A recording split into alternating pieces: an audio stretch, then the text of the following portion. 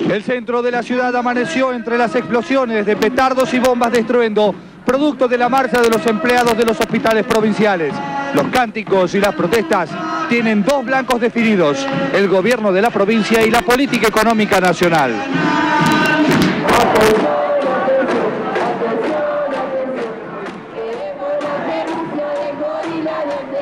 Estamos con atraso de sueldo de hace dos meses y con problemas en la atención de guardia mínima paro, no se hace consultorio externos, se hace atención de internados únicamente. Se están atendiendo únicamente las pero no se hace ningún tipo de prevención. Por ejemplo, control de los embarazos no se están haciendo. ¿Se les ha dado algún tipo de respuesta?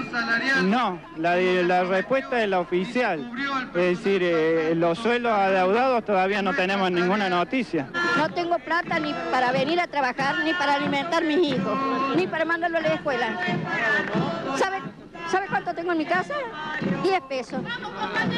Con eso no puedo vivir. Me han cortado la luz, me van a cortar el teléfono, me cortan todo.